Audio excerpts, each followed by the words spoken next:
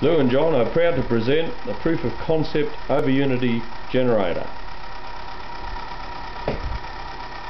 AC mains power is provided to a transformer, then put through a rectifier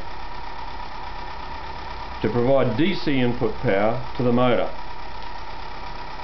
The DC input is calculated by multiplying the DC amps and the DC volts seen on these meters which in this case is 1 DC amp and 4.25 DC volts which equals 4.25 watts of DC power input.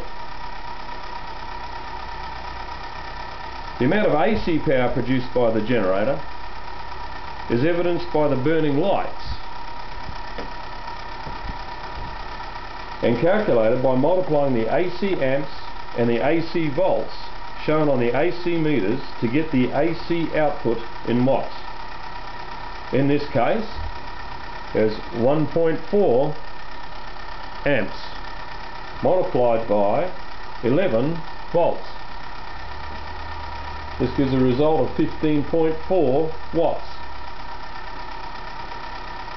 If we now divide the 15.4 output watts by the 4.25 input watts, we have the efficiency of the motor.